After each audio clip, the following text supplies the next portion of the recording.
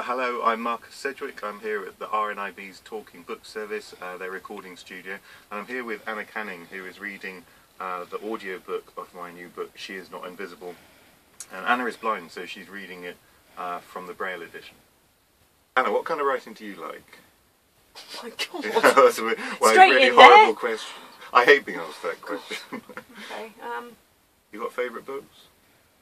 Yeah, I mean, what I would say is that um, I probably don't read as wide a range of books as a sighted person because there aren't audio and braille versions of as many books, which is why probably that question throws me into a state of panic. Yeah. I mean, the last time I read very regularly was when I was at school, Okay. um, because obviously books were accessed for me there and brought to, you know, arranged for school.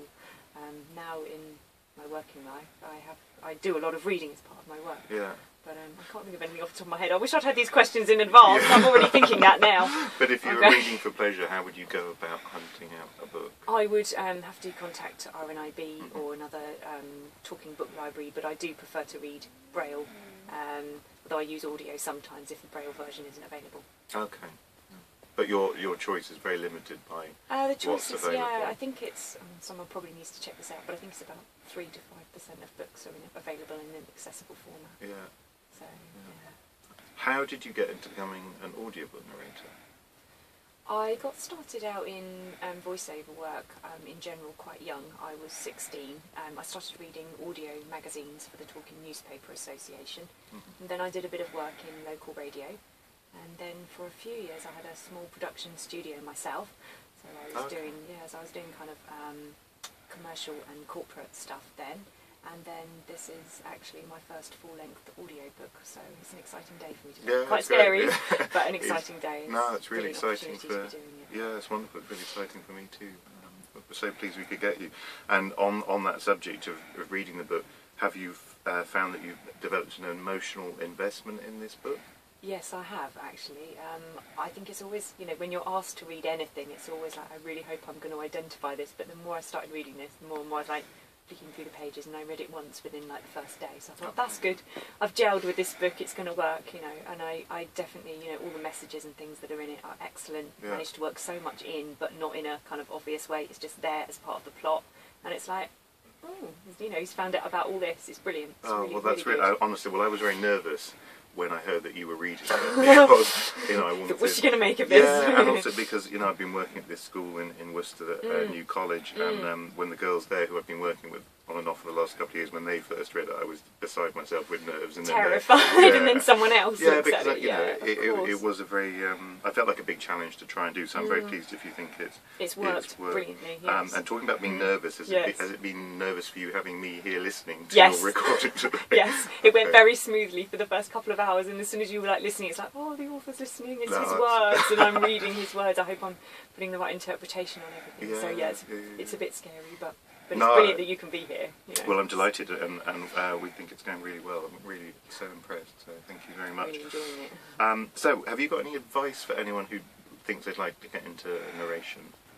Just practice, and if you're reading from Braille, you've got to practice reading quickly and fluently, and that is more difficult with Braille. It's doable, it can be done, but Yeah. you've got to put invest a lot of time into getting your Braille reading speed that quick. Yeah. And to people generally, again, still practice and practice different voices, different different um, different types of reading, not just books, all kinds of narration, all kinds of audio, um, to give yourself the broadest range of work opportunities possible as Yeah, well. that sounds like good advice. Um, one thing I noticed when you're reading is that you have your left hand.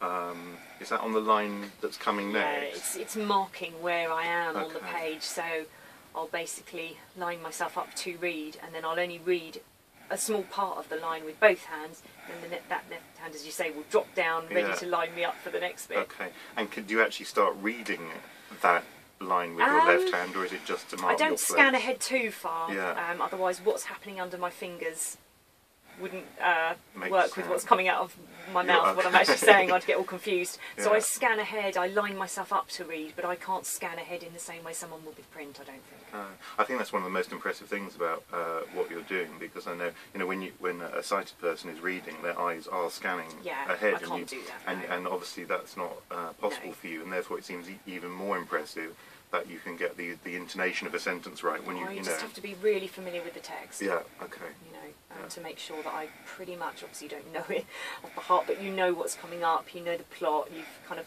tracked all the kind of nuances that you're going to need in the people's voices, the different emotions that run through the plot, and Yeah. yeah, And try to be as prepared as possible. Okay, and connected to that is the the question of accents as well, because this is a, a book Yes. that's. I mean, you've got the you know female uh, narrator and her little brother, and then Yeah, obviously they go to lots of America. Yeah, and how how's that been for you? Challenging, Yeah. yeah, but it's good. I'm, I've immersed myself in American radio for the past week, listening to as many different types of American accents and different ages and people's voices as possible. I love voices anyway. I'm always listening to voices. I get a lot of clues about what's going on around me from how people sound and, and what I hear, obviously. Yeah, So um, I'm very sort of tuned in Tuned to that in. kind of thing. yeah, Um, but it's a challenge to actually replicate that in front of a microphone when the pressure's on and your Yeah. nerves are running Yeah. by, you know. so So how how's it been being a teenager in this? it's quite fun actually. yeah. I mean, I can't say I was. Uh, I wasn't necessarily overly happy myself when I was 15, 16. Mhm. So, so to read about someone who's, you know, a character that's already got to the point where she is beginning to find her feet.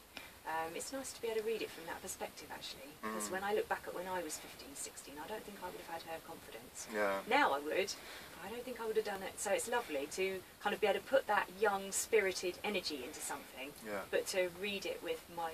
It's, she's kind of got a similar mindset to what I have now. Okay, that's so interesting. it's, Um, the as a s- crossover is really, really interesting. Yeah, I was I was working with um, quite a lot of the girls in, at New College, and we, we spoke a lot about confidence, Mm. and um, they all seemed to feel that they because I said you all seem like really confident young people to me the Mm. first time I met them, and then I Mm. went back a few times, and you know the deeper we got into Yeah. conversation, I started to discover that their confidence is very often a front that they have to put on. Yeah. Um, because if they don't behave confident, then people I won't interact with them. when I read that passage in your book, I thought, how true. Yeah, well, that was that was just from from speaking You know, uh, to the students. Yeah, so. a lot of the time it is the only way you can get by and, and get noticed and um, yeah, Yeah. get through. Yeah, yeah, yeah. Uh, What was your reading experience like as a teenager? We touched on that briefly. Um, yeah, I did a lot of reading as a young child. I was very, very enthusiastic when I was learning Braille. I started learning Braille when I was four. Is that uh, is that particularly early? That sounds Um, like no, it. well, I went to mainstream school, so I was learning that at about the same pace as people around me were learning to read print. Okay. Um, so, but I took to Braille really quickly. I, I always loved reading. Yeah. Um, so as a child, I read a lot. Yeah. Um, but then, when you're kind of sort of 13, 14, you get into study mode and then you Yeah. start reading books only for study. Yeah. And then, That's- and then you kind so of typical, leave yeah. school. And then I, a lot of my reading since then has been kind of factual for work, Mhm. I. No, that's a very typical. So it's uh, lovely experience. to have the opportunity to read some fiction and just actually enjoy it and get immersed in it. So it's, yeah, no, it's lovely. Given the choice, you would prefer to read, therefore, I think you're saying from a Braille edition, not read an audio book. Me personally, yes, um, just because I have a complete affinity with Braille, and it's something that I'm worried is going to be replaced completely by technology. Okay. Don't get me wrong, I'm not against technology. I Mm. use a lot of technology, but there's something very special about actually having a physical book. Yeah. But of course, it's a more expensive production method, so I worry that it will sort of just die out. And I couldn't do my job without Braille, No. so I'm very, very attached to it. If I hadn't learnt Braille, I would never have been in voiceovers. Yeah. I, I believe, anyway. Oh, that shows how important it is. So to me, it's been vitally important. That's why I'm so passionate about it. No, good. Fantastic. And do you, do you listen to audiobooks? I do listen to audiobooks. I listen to a lot of um, audiobooks that are read on the radio, like Radio 4, Mhm. um, and so a lot of audio plays. Okay. Um, I do get some audiobooks out from the library, but I would, I'm sorry, I would always see if it was available in a book first. Yeah.